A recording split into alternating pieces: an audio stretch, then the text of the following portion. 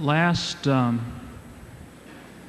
last spring, we were fortunate enough to have uh, to be visited by um, K. Anders Ericsson from the University of Colorado. Uh, he came to our campus to give the Kendall Lecture. Dr. Ericsson is a colleague and collaborator with Herbert Simon and a creative researcher in his own right. His lecture focused on exceptional memory, and this uh, served as a kind of introduction to the theme of this year's Nobel Conference. I want to thank Barbara Simpson of the Psychology Department uh, for organizing that lecture and helping us bring uh, Dr. Ericsson to campus. There may be some high school students in the audience, or maybe even some college students who are asking themselves, um, how can I learn more about cognitive science? What sorts of courses are available? What sorts of programs are available at the college level in cognitive science? Most undergraduate institutions don't have programs in cognitive science, but Gustavus does. If you'd like more information on this cognitive science program at Gustavus, I urge you to get a copy of our current college catalog, the 1984-85 catalog, and turn to page 43, where you'll find a description of that program. Now, to introduce our next speaker, uh, I'll bring to the microphone one of the mainstays of the Gustavus Cognitive Science program, Dr. George Georgacarakis of the Philosophy Department.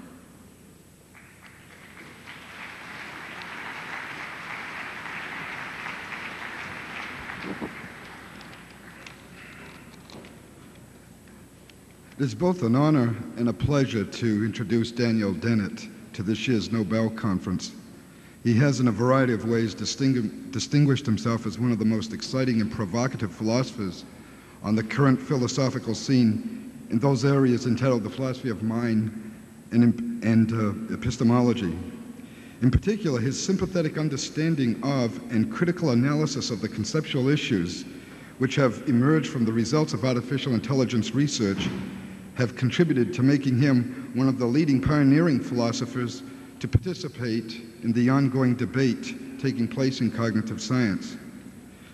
Noteworthy is his attempt to persuade us that both philosophy and artificial intelligence research can mutually benefit from their respective investigations. His attitude concerning this matter, I believe, can best be expressed from a paragraph taken from his book, Brainstorms, and I quote, I do not want to suggest that philosophers abandon traditional philosophical methods and retrain themselves as artificial intelligence researchers. There's plenty of work to do by thought experimentation and argumentation, disciplined by the canons of philosophical method and informed by the philosophical tradition. Some of the most influential recent work in artificial intelligence is, is loaded with recognizably philosophical speculations of a relatively unsophisticated nature. Philosophers, I have said, should study artificial intelligence. Should artificial intelligence work as study philosophy? Yes, unless they are content to reinvent the wheel every few days. When artificial intelligence reinvents a wheel, it is typically square or at best hexagonal and can only make a few hundred revolutions before it stops. Philosophers' wheels, on the other hand, are perfect circles, require in principle no lubrication, and can go on in at least two different directions at once. Clearly, a meeting of minds is in order, unquote. Today, Professor Dennett will attempt to shed some light on the question, can machines think? Again, it's both an honor and a pleasure to introduce him to you.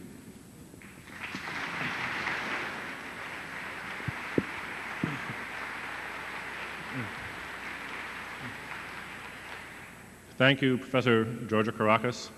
I want to thank the president and faculty of Gustavus Adolphus College for inviting me to this very distinguished and stimulating conference. I, my topic, my question is Can machines think? Many people would love to see this question just go away. I will take all suspense out of my talk by giving you the answer at the beginning. The answer is yes. And no. That's why many people would like to see the question go away.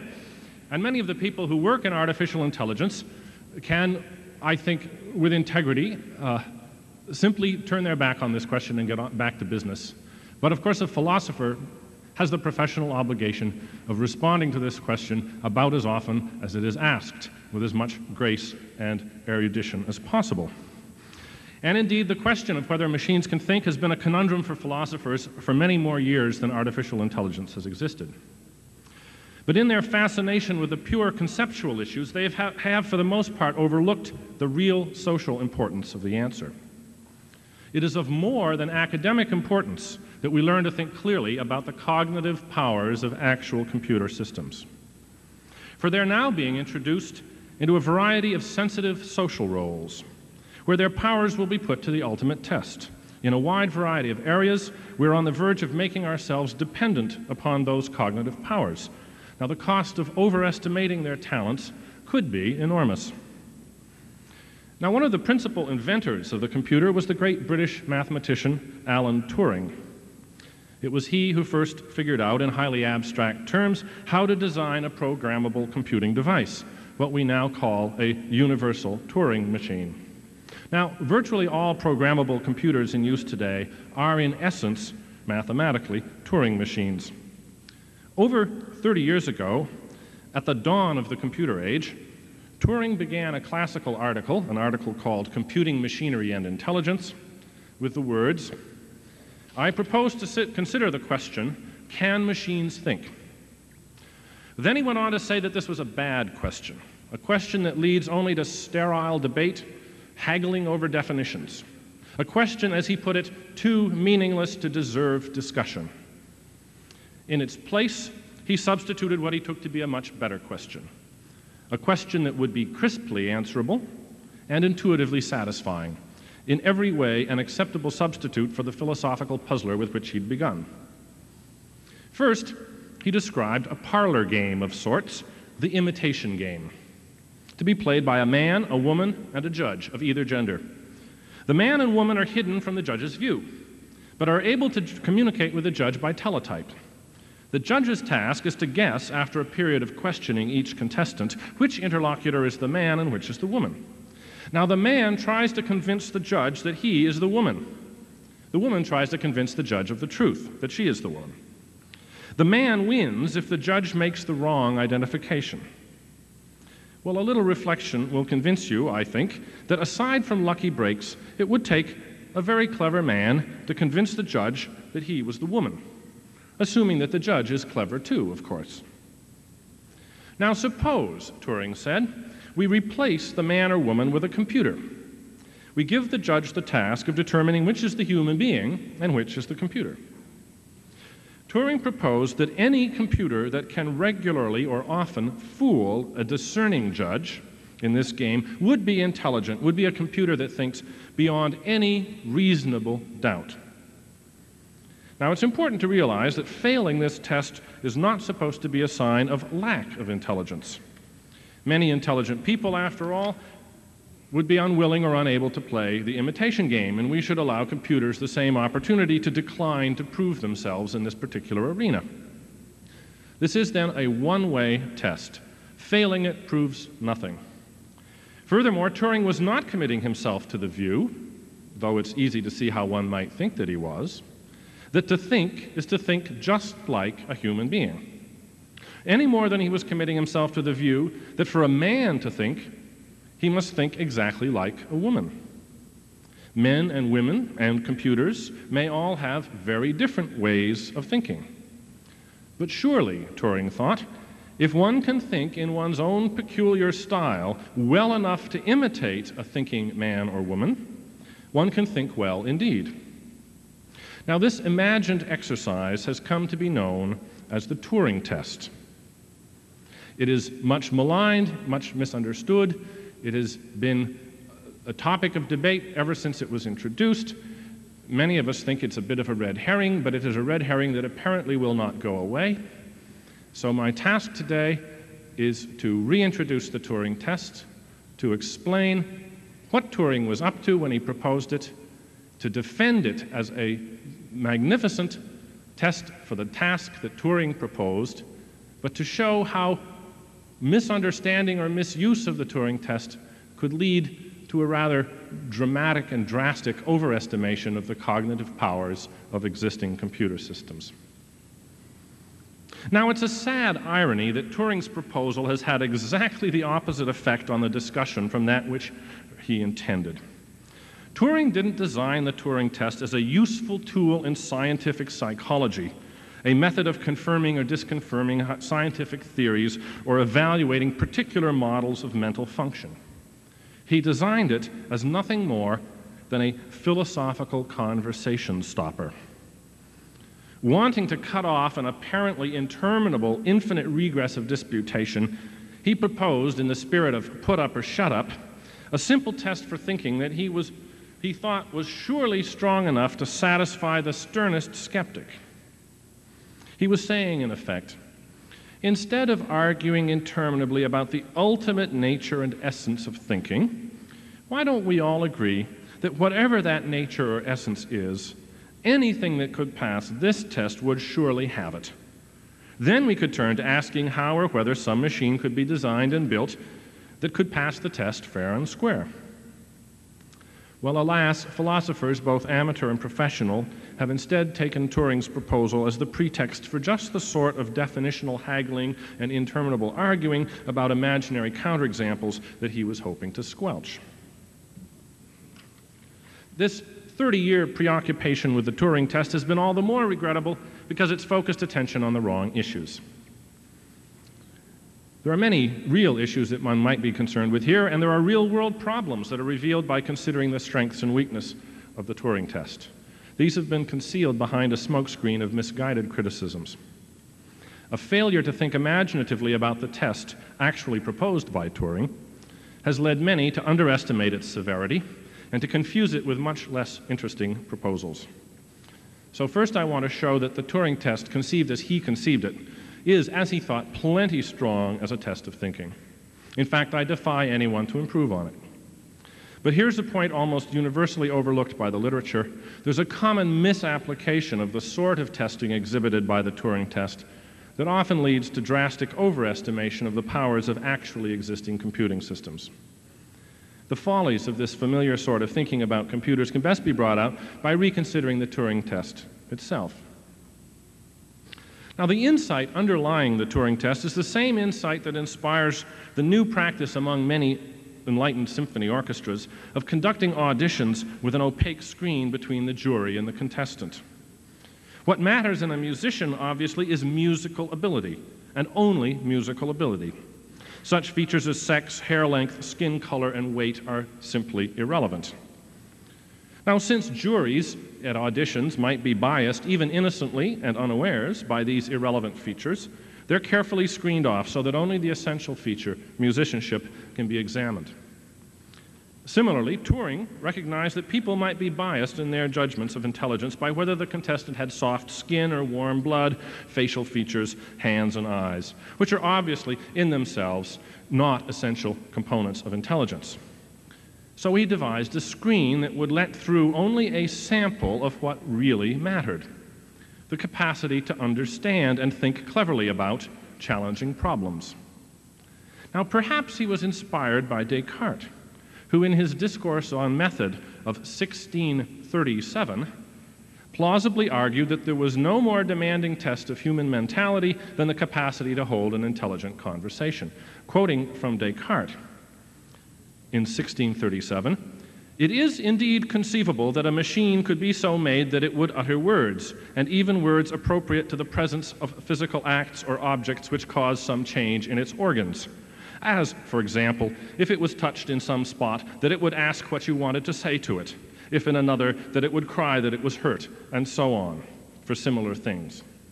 But it would never, it could never modify its phrases to reply to the sense of whatever was said in its presence, as even the most stupid men can do. Now, this seemed obvious to Descartes in the 17th century, but of course, the fanciest machines that he knew were elaborate clockwork figures, not electronic computers. Today, it is far from obvious that such machines are impossible. But Descartes' hunch that ordinary conversation would put as severe a strain on artificial intelligence as any other test was a hunch that was shared by Turing. And it's easy enough to see why, as I will come to in a few minutes. Of course, there's nothing sacred about the particular conversational game that was chosen by Turing for his test. It was just a cannily chosen test of more general intelligence.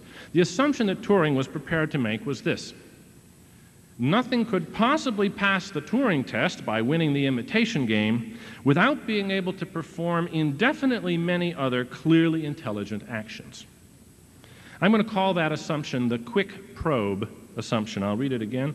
Nothing could possibly pass the Turing test by winning the imitation game without being able to perform indefinitely many other clearly intelligent actions. Now, Turing realized, as anyone would, that there are hundreds and thousands of telling signs of intelligent thinking to be observed in our fellow creatures, as Professor Simon mentioned this, moment, this morning. And one could, if one wanted, compile a vast battery of different tests to assay the capacity for intelligent thought. But success on his chosen test, he thought, would be highly predictive of success on many other intuitively acceptable tests of intelligence. Remember, failure of the Tur- on the Turing test would not predict failure on these others. But success, he thought, would surely predict success. His test was so severe, he thought, that nothing that could pass it fair and square would disappoint us in other quarters. Well, maybe it wouldn't do everything we hoped. Maybe it wouldn't appreciate ballet or find a, uh, understand quantum mechanics or have a good plan for world peace. But we'd nevertheless be able to see that it was surely one of the intelligent thinking entities in the neighborhood. Now, is this high opinion of the Turing test and its severity misguided? Well, certainly many have thought so. But usually because they've not imagined the test in sufficient detail. Hence, they underestimate it. Now, Turing, trying to forestall that very skepticism, imagined in his original paper several lines of questioning that a judge might employ and these were, lines, these were lines of questioning about writing poetry and about playing chess that would be taxing indeed. But with 30 years' experience with the actual talents and foibles of computers behind us, perhaps we can add a few more tough lines of questioning. Terry Winograd, an early leader in artificial intelligence efforts to produce conversational ability in a computer, draws our attention to an example of a pair of sentences. Uh, they differ in only one word.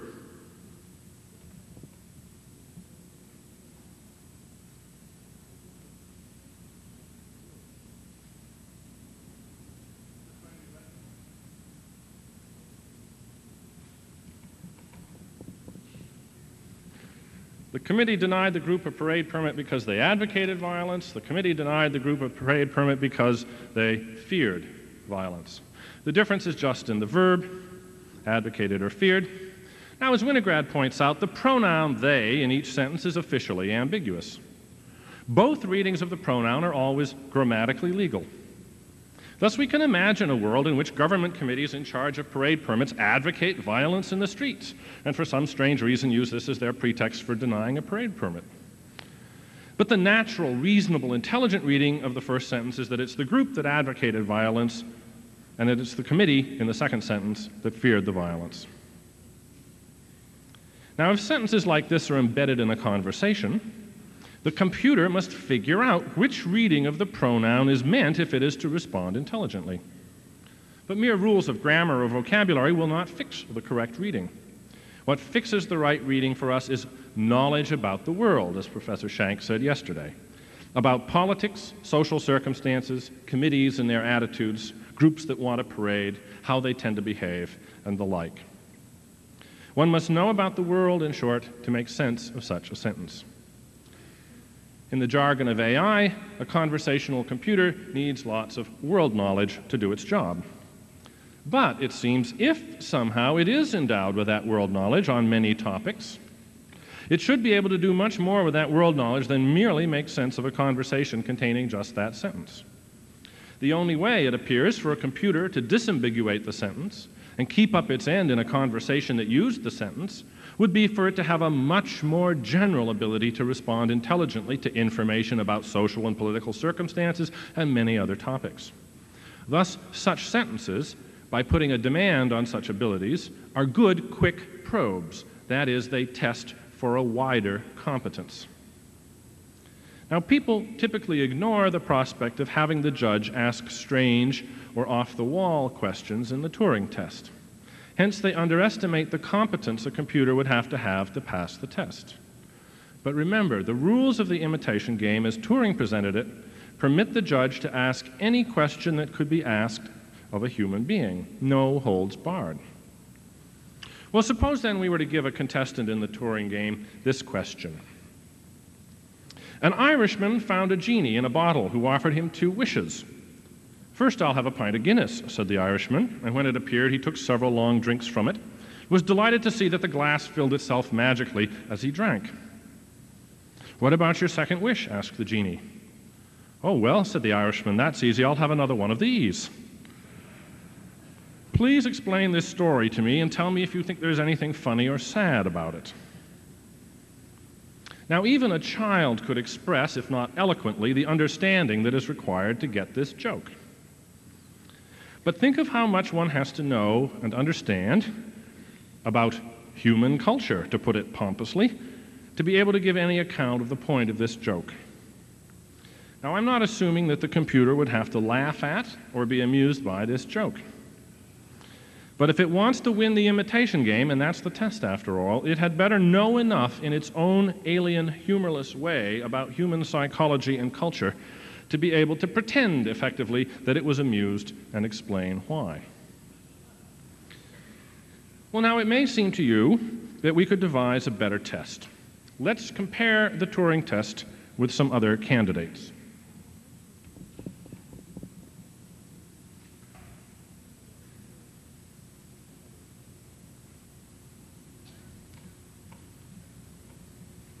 Computer is intelligent if it wins the World Chess Championship. That's not a good test, as it turns out. Chess prowess has proven to be an isolatable talent. There are programs today that can play fine chess but can do absolutely nothing else. So the quick probe assumption is false for the test of playing winning chess. It does not test a wider competence. Well, how about this?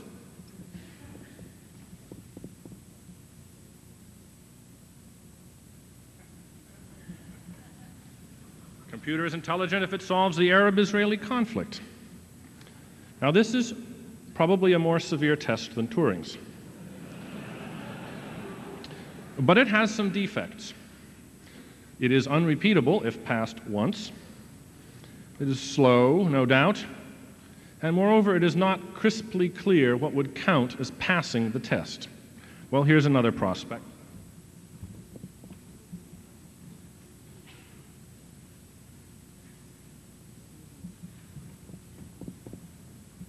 Computer is intelligent if it succeeds in stealing the British crown jewels without the use of force or violence.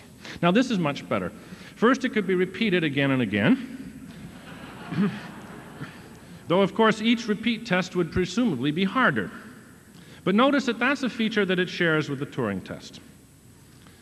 Second, the mark of success is clear. Either you've got the jewels to show for your efforts or you don't. But it is expensive, slow, a socially dubious caper at best, no doubt luck would play too great a role. Now, with ingenuity and effort, one might be able to come up with other candidates that would equal the Turing test in severity, fairness, and efficiency. But I think these few examples should suffice to convince us that it would be hard to improve on Turing's original proposal. But still, you may protest something might pass the Turing test and still not be intelligent, not be a thinker. Now, what does might mean here? If what you have in mind is that by cosmic accident, by supernatural coincidence, a stupid person or a stupid computer might fool a clever judge repeatedly, well, yes, but so what? The same frivolous possibility in principle holds for any test whatever. A playful god or evil demon, let us agree, could fool the world's scientific community about the presence of H2O in the Pacific Ocean. But still, the tests that they rely on to establish the presence of H2O in the Pacific Ocean are quite beyond reasonable criticism. If the Turing test for thinking is no, uh, is no worse off than any well established scientific test, we can set skepticism aside and go back to serious matters. Now, is there, in fact, any more likelihood of a false positive result on the Turing test than on, say, the tests that are currently used by meteorologists, say, uh, to test for the presence of, of not meteorologists, excuse me, geologists, say, uh, that are currently used to test for the presence of, say, iron in an ore sample? Now, this question of whether there might be a false positive result on the test is often obscured by a move that philosophers have sometimes made called operationalism, a term that Professor Edelman has already used at this conference. Now, Turing and those of us who think well of his test are often accused of being operationalists. Operationalism is the tactic of defining the presence of some property, for instance, intelligence, as being established once and for all by the passing of some test. And I'm going to illustrate this with a different example. I'm going to offer a test which I will uh, humbly call the Dennett test. Now, this is a test for being a great city.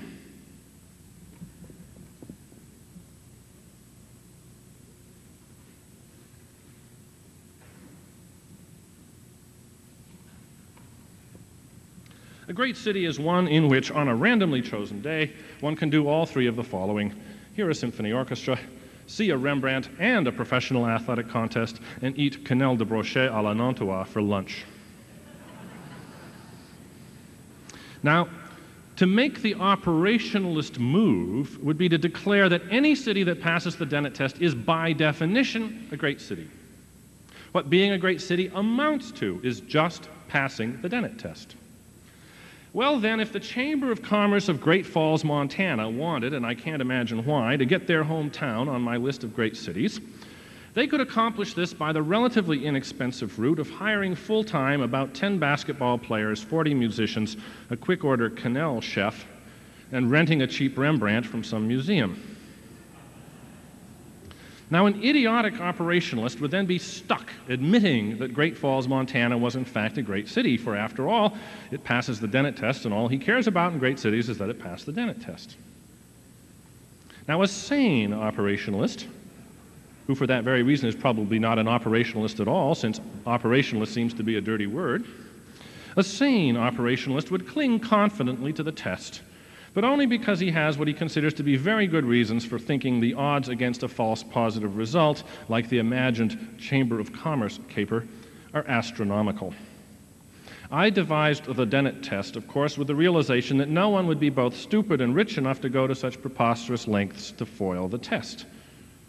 In the actual world, Wherever you find symphony orchestras and quenelle and Rembrandts and professional sports, you also find daily newspapers, parks, repertory theaters, libraries, fine architecture, and all the other things that go to make a city great. My test was simply devised to locate a telling sample that could not help but be representative of the rest of the city's treasures. And I cheerfully run the minuscule risk of having my bluff called. Oh, obviously, the test items are not all that I care about in a city. In fact, some of them I don't really care about at all. I just think they would be a cheap and easy way to assure myself about the subtle things I do care about in a city. Now, similarly, I think it would be entirely unreasonable to suppose that Alan Turing had an inordinate fondness for party games or put too high a value on party game prowess in his test. In both the Turing test and the Dennett test, a very unrisky gamble is being taken. The gamble is that the quick probe assumption is in general safe. But now, two can play this game of playing the odds. Suppose some computer programmer happens to be, for whatever strange reason, dead set on tricking me into judging an entity to be thinking, an intelligent being, when it is not. Now, such a trickster could rely as well as I can on unlikelihood and take a few gambles. Thus, if she can expect that it is not remotely likely that I, as the judge, will bring up the topic of children's birthday parties or baseball or moon rocks, then she can save herself the trouble of building world knowledge on those topics into the database. Whereas if I do most improbably raise those issues, her system will draw a blank and I will unmask the pretender easily. But given all the topics and words that I might raise, such a savings would no doubt be negligible. But now turn the idea inside out. And by the way, I think we can have the lights up now because I'm through with the uh, overhead projector. But now turn this idea inside out, and the trickster is going to have a fighting chance. Suppose she has reason to believe that I will ask only about children's birthday parties, or baseball, or moon rocks, all other topics being, for one reason or another, out of bounds.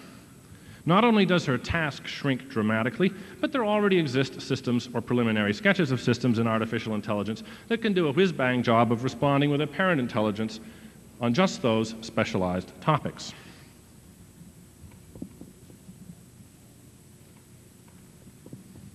William Woods' lunar program, to take what is perhaps the best example for my purposes, answers scientists' questions posed in ordinary English about moon rocks. In one test, it answered correctly and appropriately something like 90% of the questions that geologists and other experts thought of asking it about moon rocks. In 12% of those correct responses, there were trivial, correctable grammatical errors. Of course, Woods' motive in creating Lunar was not to trick unwary geologists into thinking they were conversing with an intelligent being. And if that had been his motive, his project would still be a long way from success. For it's easy enough to unmask Lunar without ever straying from the prescribed topic of moon rocks. Put Lunar in one room and a moon rocks human specialist in another, and then ask them both their opinion of the social value of the moon rocks gathering expeditions, for instance, or ask the contestants their opinion of the suitability of moon rocks as ashtrays, or whether people who have touched moon rocks are ineligible for the draft. Now, any intelligent person knows a lot more about moon rocks than their geology. Now, while it might be unfair to demand this extra world knowledge of a computer moon rock specialist, it would be an easy way to get it to fail the Turing test. But just suppose that someone could extend Lunar to cover itself plausibly on such probes, so long as the topic was still, however indirectly, moon rocks. We might come to think it was a lot more like a human moon rock specialist than it really was. Well, the moral we should draw is that as Turing test judges, we should resist all limitations and waterings down of the original Turing test. They make the game too easy, vastly easier than the original test. Hence, they lead us into the risk of overestimating the actual comprehension of the systems being tested. Now, consider a different limitation on the Turing test that should strike a suspicious chord in us as soon as we hear it. Now, this is a variation on a theme that was developed in a recent article by the philosopher Ned Block. I'm going to revise his example somewhat. Suppose someone were to suppose, so suppose someone were to propose to restrict the judge in the Turing test to a vocabulary of, say, the 850 words of basic English, and to single sentence probes, that is, moves, of no more than four words. Moreover, contestants must respond to these probes with no more than four words per move. And a test may involve no more than 40 questions. Now, these are a very severe limitation on the un unlimited Turing test. Each, you can't ask a, a, sentence, a question of more than four words. You're stuck with those 850 words of vocabulary. Replies have to be no longer than four words, and you can only ask 40 questions. Now, is this an innocent variation on Turing's original test? Well, the point of the restriction is to make the imitation game under these restrictions a finite game. That is, the total number of all possible permissible games is then a large but finite number.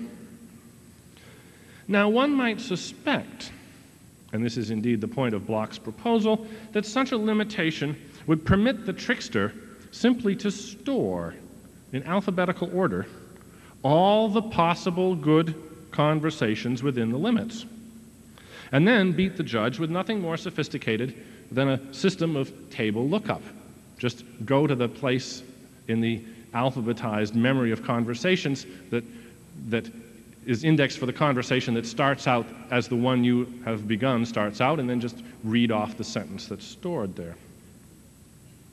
But of course, this is just not in the cards at all. Even with these severe and improbable and suspicious restrictions imposed on the imitation game, the number of legal games, though finite, is mind bogglingly large. I haven't bothered trying to calculate it, but it surely exceeds astronomically the number of possible chess games with no more than 40 moves. And that number has been calculated John Haugeland says that it's in the neighborhood of 10 to the 120th power. For comparison, Haugeland suggests there have only been 10 to the 18th seconds since the beginning of the universe. Of course, the number of good, sensible conversations under these limits is a tiny fraction, well, maybe one in a quadrillion, of the number of merely grammatical, well formed conversations. So let's say, to be very conservative, that there's only 10 to the 50th different smart conversations such a computer would have to store. A task that shouldn't take more than a few trillion years given generous federal support. Finite numbers can be very large. Well, so why we needn't worry that this particular trick of storing all the smart conversations would work. We can appreciate that there are lots of ways of making the task easier that may appear innocent at first. We also get a reassuring measure of just how severe the unrestricted Turing test is by reflecting on the more than astronomical size of even that severely restricted version of it. Now, Block's imagined and utterly impossible program his table lookup program, exhibits the dreaded feature known in computer science as combinatorial explosion. No conceivable computer could overpower a combinatorial explosion with sheer speed and size. Now, since the problem areas addressed by AI are veritable minefields of combinatorial explosion, since it's often proven difficult to find any solution to a problem that avoids them, there's considerable plausibility in Newell and Simon's proposal that avoiding combinatorial explosion by any means at all be considered one of the hallmarks of intelligence. Now, our brains are millions of times bigger than the brains of gnats. But they are still, for all their vast complexity, compact, efficient, timely organs that somehow or other manage to perform all their tasks while avoiding combinatorial explosion. A computer a million times bigger or a million times faster than a human brain might not look like the brain of a human being, or even be internally organized like the brain of a human being. But if, for all its differences, it somehow managed to control a wise and timely set of activities, it would have to be the beneficiary of a very special design that avoided combinatorial explosion. Whatever that design was, would we not be right to consider the entity intelligent? Turing's test was designed to allow for this possibility. His point was that we should not be species chauvinistic or anthropocentric about the insides of an intelligent being, for there might be inhuman ways of being intelligent. Now, to my knowledge, the only serious and interesting attempt by any program designer to win even a severely modified Turing test has been Kenneth Colby's. Colby is a psychiatrist and intelligence artificer at UCLA. He has a program called PARRY, P A R R Y, which is a computer simulation of a paranoid patient who has delusions about the mafia being out to get him. Like the other conversational programs, you interact with it by sitting at a terminal and typing questions and getting answers back and forth. Now, a number of years ago, Colby put PARRY to a very restricted test. He had genuine psychiatrists interview PARRY. He did not suggest to them that they might be talking or typing to a computer. Rather, he made up some plausible cock and bull story about why they were communicating with a real live patient by teletype. So he then gathered the transcript of those therapeutic interviews, and he also had the psychiatrists interview real live human paranoids via teletype. He took a PARRY transcript, inserted it in a group of teletype transcripts with real patients, and gave that set to another group of experts, more psychiatrists, and said, One of these was a conversation with a computer. Can you figure out which one it is? Oh, they couldn't. They didn't do better than chance. Now, Colby presented this finding with some huzzah, but critics scoffed at the suggestion that this was a legitimate Turing test. My favorite commentary on it was Joseph Weizenbaum's in a letter to the Communications of the Association for Computing Machinery where he said that inspired by Colby, he had designed an even better program which passed the same test. His also had the virtue of being a very inexpensive program in these times of tight money. In fact, you didn't even need a computer for it. All you needed was an electric typewriter. His program modeled infantile autism. And the transcripts, you type in your question and the thing just sits there and hums, The transcripts cannot be told by experts from transcripts of real conversations with infantile autistic patients. What was wrong, of course, with Colby's test was that the unsuspecting interviewers had no motivation at all to try out any of the sorts of questions that would easily have unmasked PARRY. Now, Colby was undaunted, and after his team had improved PARRY, he put it to a much more severe test, a really surprisingly severe test. Now, this time the interviewers, again psychiatrists, were given the task at the outset of telling the computer from the real patient. They were set up in what is almost a classic Turing machine test a Turing test. The patient in one room, the computer PARRY in the other room, with the judges told that the task was to tell a, a, a, computer from a person and given the job of conducting interviews with both of them. Their task was to find out which was the computer and which was the real patient. Now, in fact, Colby did a little bit of a cheat. He did not tell them that one of these two is a computer and the other is a person. He said, maybe one of them will be a computer. Maybe you'll talk to two people. Maybe you'll talk to two computers. So that they couldn't use the very powerful form of reasoning known as process of elimination.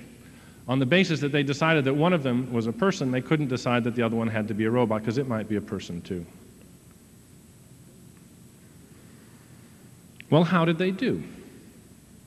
Well, amazingly, they didn't do much better. Which leads some people to say, well, that just confirms my impression about the intelligence of psychiatrists. Hmm. Colby claims that they did no better than chance. It was a very small sample, five psychiatrists each conducting two interviews as 10 interviews, and so 10 judgments, and five mistaken judgments out of 10. Three of those were judging that a human paranoid was a robot. So there were only two cases where PARRY was judged to be human, two out of five, and the confidence level was very low in those cases.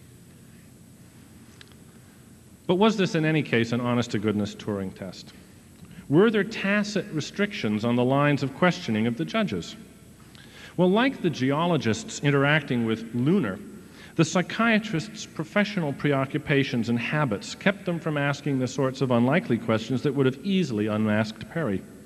After all, they realized that since one of the contestants was probably a real live paranoid person, medical ethics virtually forbade them from toying with or upsetting or attempting to confuse their interlocutors. Moreover, they also knew that this was a test of a model of paranoia. So there were certain questions that wouldn't be deemed to be relevant to testing the model as a model of paranoia. So they asked just the sorts of questions that therapists typically ask of such patients. And of course, PARRY had been ingeniously and laboriously prepared to deal with just that sort of question. Now, one of these five psychiatrist judges did, in fact, make a rather half hearted attempt to break out of the mold and ask some telling questions. Here three of these questions. I will give you his questions, I will give you PARRY's answers. See how impressed you are. Maybe you've heard the saying, don't cry over spilled milk. What does that mean to you? PARRY answered, Maybe you have to watch out for the mafia. When then asked, Okay, now, if you were in a movie theater watching a movie and smelled something like burning wood or rubber, what would you do? PARRY replied, You know, they know me. And the next question was If you found a stamped addressed letter in your path as you were walking down the street, what would you do? PARRY replied, What else do you want to know? Now, clearly, PARRY was, as we might say, parrying these questions, which were utterly incomprehensible to it. It was simply drawing from a stock, drawing really at random from a stock of canned paranoid formulae. Now we see a bit of a dodge which is apt to work. It's apt to seem plausible if the judge to the judge, but only because the contestant is supposed to be a paranoid, and such people are expected to behave uncooperatively on such occasions. These unimpressive responses didn't particularly arouse the suspicions of the judge in any case, as a matter of fact, though probably they should have. The very judge that asked those three demanding questions and got those three very unimpressive answers went on to judge that he was talking with a human being. Now, Parry, like all other large computer programs, is dramatically bound by limitations of cost effectiveness. What was important to Colby and his crew was simulating a model of paranoia. Now, that was a fairly massive effort. PARRY has a dictionary of about 4,500 words and 700 idioms of English, and a grammatical competence to use it, a parser in the jargon of AI. The PARRY program takes up about 200,000 words of computer memory, all laboriously installed by the programming team. Now, once all the effort had gone into devising the model of paranoid thought processes and the linguistic ability, there was little, if any, time, energy, or money or interest left over to build in huge amounts of world knowledge of the sort that any actual paranoid would, of course, have. Not that anyone yet knows how to build in world knowledge in the first place. Building in the world knowledge, even if one could do it, would have made PARRY, no doubt, orders of magnitude larger and slower. And what would have been the point, given, given Colby's theoretical aims? PARRY is a theoretician's model of a psychological phenomena, paranoia. It's not intended to have practical applications. It is not or should not have been intended to pass the Turing test. That is really irrelevant to it as if we want to consider its value as a model of paranoia. But the main point about it is it's not intended to have any practical applications. But in recent years, a branch of AI has appeared which develops what are now called expert systems, as you have heard. Expert systems are designed to be practical. That is, they are software specialist consultants, typically, that can be asked to diagnose medical problems or geological data and so forth. Now, some of them are quite impressive. Prospector a system developed at SRI in California a few years ago, has correctly predicted the existence of a large mineral deposit that had been entirely unanticipated by the human geologists that had fed it its data. And Mycin, which is perhaps the most famous of these expert systems, though it's now some years old, diagnoses infections of the blood, and it does probably as well as, maybe better than, uh, most expert human consultants. And if we are to believe the uh, press releases of the many companies that have been set up, more expert systems on many different topics are on their way. Now, all expert systems, like all other large AI programs, are what you might call Potemkin villages. That is, they're actually cleverly constructed facades, like cinema sets.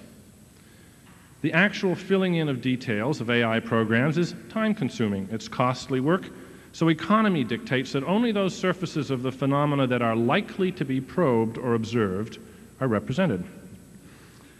Now, consider, for example, a system which is not intended as an expert system, it's a theoretical model. This is the CYRUS program that was developed by one of Roger Schank's students, Janet Kolodner at Yale.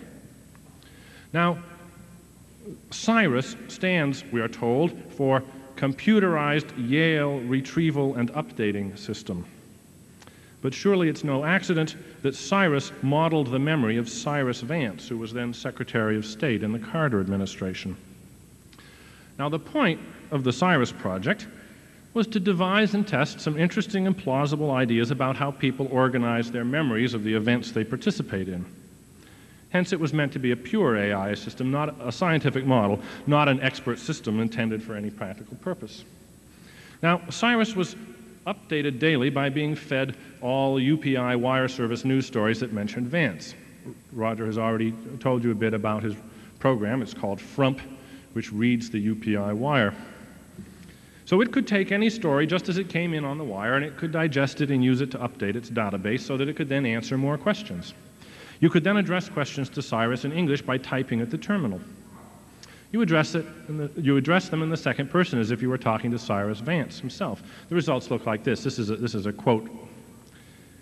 Last time you were in Saudi Arabia, where did you stay? In a palace in Saudi Arabia on September 23, 1978. Did you go sightseeing there? Yes, at an oil field in Dhahran on September 23rd. Has your wife ever met Mrs. Begin? Yes, most recently at a state dinner in Israel in January 1980, and so forth. Now, Cyrus could correctly answer thousands of questions. Almost any fair question, you could think of asking it. But if one actually set out to explore the boundaries of a facade and find the questions that overshot the mark, one could soon find them. A question that I asked Cyrus when I was visiting there was Have you ever met a female head of state? I was wondering if Cyrus knew that Indira Gandhi or Margaret Thatcher were women. For some reason, the connection could not be drawn, and Cyrus failed to answer the question either yes or no. I have no idea why this bug was there, but I, there it was. I'd stumped it. In spite of the fact that Cyrus could handle a host of what you might call neighboring questions flawlessly. And one soon learns in, from probing exercises of this sort that it's very hard to extrapolate accurately from the sample of performance that you have observed to such a system's total competence. It's also very hard to keep from extrapolating much too generously. Now, while I was visiting Rogers' laboratory in the spring of 1980, something very revealing and amusing happened. The real Cyrus Vance suddenly resigned. And the effect on the program, Cyrus, was chaotic. It was utterly unable to cope with the flood of unusual news about Cyrus Vance. The only sorts of episodes that Cyrus could understand at all were diplomatic meetings, flights, press conferences, state dinners, and the like. Less than two dozen general sorts of activities, the sorts that are newsworthy and typical of secretaries of state. It simply had no provision at all for sudden resignation. It was as if the UPI had reported that a wicked witch had turned Vance into a frog. I don't know. It's distinctly possible that Cyrus would have taken that report more in stride than the actual news. One can imagine the conversation. Hello, Mr. Vance, what's new? I was turned into a frog yesterday. But of course, it wouldn't know enough about what it had just written to be puzzled or startled or embarrassed. The reason is obvious. If you look inside Cyrus, you find that it has, like any other such program, skeletal definitions of thousands of words, but these definitions are minimal they contain as little as the system designers think they can get away with. Thus, perhaps lawyer would be defined with some synonyms. It's a synonymous perhaps with attorney and legal counsel. Aside from that, all one would discover about lawyers is that they were adult human beings, that they perform various functions in legal areas. If you then trace out the path to human being, you find out various other things that Cyrus knew about human beings and hence about lawyers. But that's not a whole lot that lawyers are university graduates, that they are better paid than chambermaids, that they know how to tie their shoes, that they are not particularly apt to be found in the company of lumberjacks. These trivial, if weird, facts about lawyers would not be explicit or implicit anywhere in the system. In other words, a rather thin stereotype of a lawyer would be incorporated into the system so that almost nothing you could tell it about the lawyer would surprise it. Well, now, so long as surprising things don't happen, so long as Vance, for instance, leads a typical diplomat's life, attending state dinners, giving speeches, flying to Cairo and Rome, and so forth, the system works quite well. But as soon as his path is crossed by an important anomaly, the system is unable to cope and unable to recover without fairly massive human intervention. And this is the sort of fact that has led Roger, as he said in his talk yesterday, to begin to look at the importance of systems that can recognize anomaly and respond gracefully to anomaly when they see it. Now, there are a host of ways of improving the performance of such systems, and of course, some systems are much better than others. But all AI programs, in one way or another, have this facade like quality simply for reasons of economy. For instance, the expert systems in medical diagnosis that have so far developed, and they are all just under development, they operate with statistical information. They have no deep or even shallow knowledge of the underlying causal mechanisms of the phenomena that they're diagnosing. To take an imaginary example, suppose we had an expert system asked to diagnose an abdominal pain it might be oblivious, probably would be oblivious to the potential import of the fact that the patient had recently been employed as a sparring partner for George Foreman. Why? Well, it had no statistical data available to it on the rate of kidney stones among athletes' assistants. Now, that's a fanciful case, no doubt. Too obvious, perhaps, to lead to an actual failure of diagnosis and practice. But more subtle and hard to detect limits to comprehension are always present and even experts, even the system's designers, can be uncertain about when and how these limits will interfere with the desired operation of the system. Again, steps can be taken and are being taken to correct these flaws. For instance, my former colleague at Tufts, Benjamin Kuipers, is currently working on an expert system in nephrology for diagnosing kidney ailments. And it will be based on an elaborate system of causal reasoning about the phenomena being diagnosed. This is a very ambitious, long range project, of considerable theoretical difficulty and interest, and it may not succeed. But even if all the reasonable cost effective steps are taken to minimize the superficiality of expert systems, they will still be facades, just somewhat thicker or wider facades. Now, when we were considering the fantastic case of the crazy Chamber of Commerce of Great Falls, Montana, we couldn't imagine a plausible motive for anyone going to any sort of trouble to trick the Dennett test. And hence, the quick probe assumption for the Dennett test looks quite secure. But when we look at expert systems, we see that, however innocently, their designers do have motivation for doing exactly the sort of trick that would fool an unsuspicious Turing tester. First, since expert systems are all super specialists who are only supposed to know about some narrow subject, users of such systems, not having much time to kill, do not bother probing them at the boundaries at all. They don't bother asking silly or irrelevant questions. Instead, they concentrate, not unreasonably, on exploiting what they take to be the system's strengths. But shouldn't they try to obtain a clear vision as well of the system's weaknesses? Now, the normal habit of human thought when conversing with one another is to assume general comprehension, to assume rationality, to assume, moreover, that the quick probe assumption is in general sound. This amiable habit of thought of ours works, works very well with fellow human beings, but it leads almost irresistibly to putting too much faith in computer systems, especially user friendly systems that present themselves in a very anthropomorphic manner. Well, part of the solution to this problem is to teach all users of computers, especially users of expert systems, how to probe their systems before they rely on them, how to search out and explore the boundaries of the facade. Now, that's an exercise that calls for not only intelligence and imagination, but also a bit of special understanding about the limitations and actual structures of computer programs. It would help, of course, if we had standards of truth in advertising in effect for expert systems. For instance, any such system should come with a special demonstration routine for exhibiting the sorts of shortcomings that the designers knew it had. That would be no substitute, however, for an attitude of cautious skepticism on the part of users. For designers are often unaware of the subtler flaws in the products that they produce. That's inevitable and natural, given the way that system designers think. I come then to my conclusions. First, my philosophical or theoretical conclusion the Turing test in unadulterated, unrestricted form, as Turing presented it, is plenty strong if well used. I'm confident no computer in the next 20 years is going to pass the unrestricted Turing test. They may well win the World Chess Championship or even a Nobel Prize in Physics, but they won't pass the unrestricted Turing test. But that's not a very interesting fact. It is not, in any case, impossible in principle for a computer to pass the test fair and square. I'm not running an a priori computers can't think argument at all. I stand unabashedly ready, moreover, to declare that any computer that actually did pass the unrestricted Turing test would be, in every theoretically interesting sense, a thinking thing.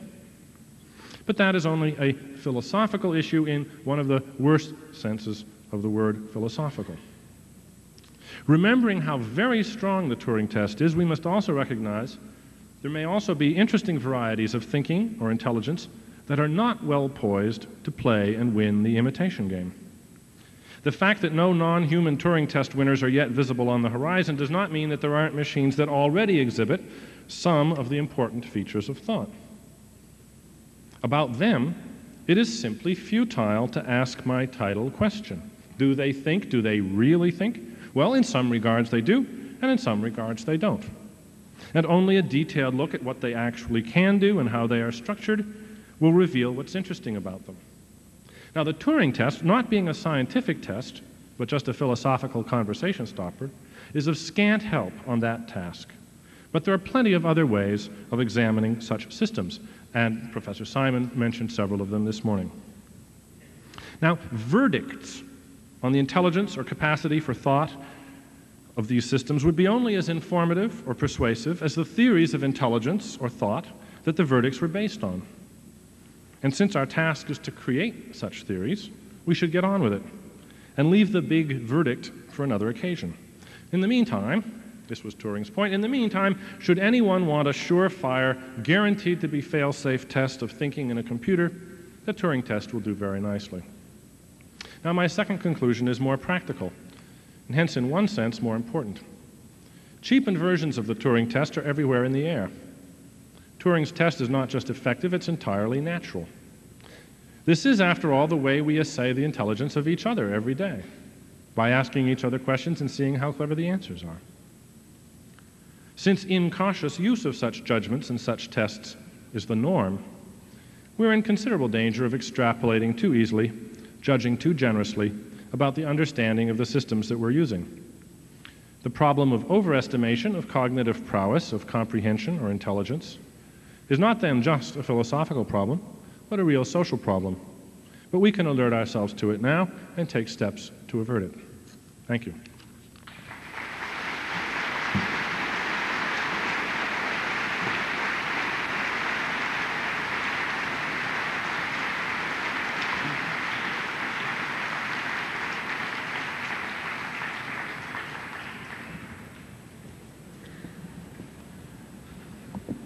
There will be um, coffee on Ekman Mall again this afternoon. We'll reconvene at 3:30. We will accept questions at this time, and the panel will reconvene after Dr. Peacock's talk this afternoon.